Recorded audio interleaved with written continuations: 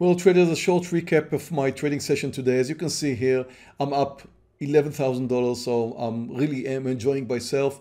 Um, just took my partial in Boeing up $5,000 and look at what's going on with Boeing right now, crashing down. That still is looking good and I'm short another 100 shares in Boeing over eight points right now. So doing real good. And uh, so this 11,000 are actually more than $12,000. Uh, the thing is, I want to talk about, uh, in this recap, I want to talk about why did I take short, a short trade in Boeing today. So my entry today in the trading room to go short Boeing was right over here, 150.10. As you can see, the S&P was moving higher today quite a bit. We started up 2%, we went over 3% here, and then we came down.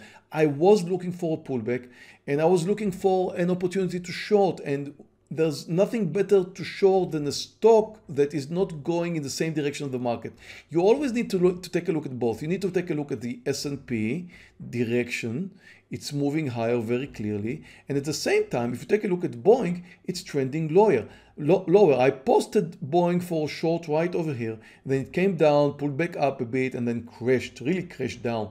So the thing is, did I know Boeing is going to continue that much down? No, I had absolutely no idea it's going to continue that much. But the thing is, if you want to short something, you don't short a stock that is just coming down with the market.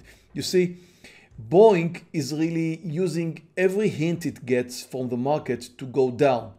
For example, the first pullback here after four candles, if you take a look at Boeing, it came down very strong. Even though it was a very small red candle watching the market here, in Boeing, these are all four, five minute candles, it came down much stronger.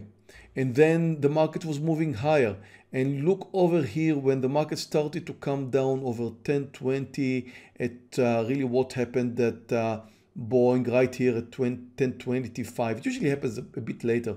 So look at what happened here. Market came down since Boeing to start with was weaker than the market, then you could expect it to come down even stronger than the market. So you just take a look at Boeing and you say to yourself, even when we started out trading today, you just say to yourself, well, Boeing is really not going up with the market as it should.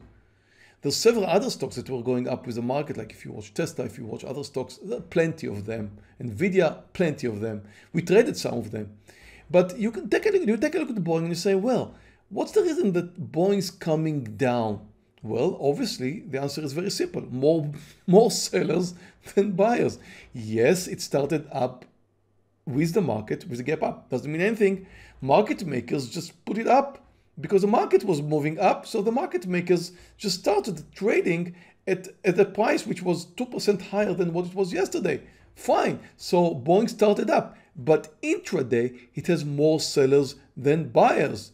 And then it's bound to come down, especially when the S&P is making a move down.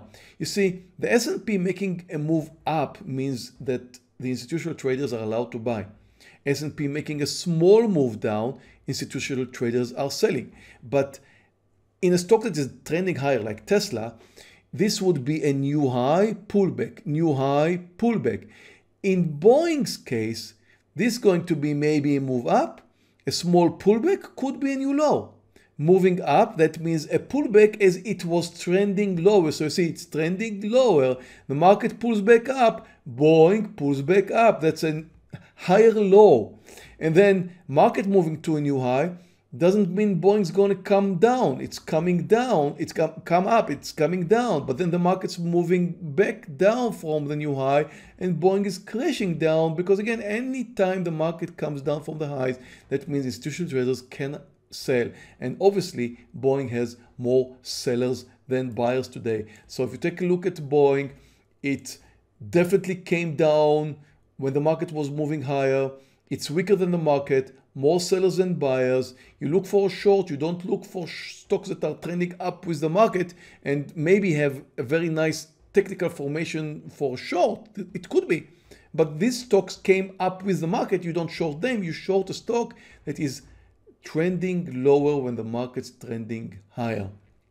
And Boeing was a perfect candidate. Really happy I took this trade. uh, beautiful green day. Thank you very much for watching, and I'll see you all tomorrow. Thank you for watching our video. Before you go, we invite you to join the TradeNet trading team. Our professional analysts will teach you how you can trade stocks from your own home without risking your own money. Click here to learn more about our funded accounts program. If you like this video, please subscribe to our YouTube channel where you can view many more stock trading videos. Questions or comments, please submit them below.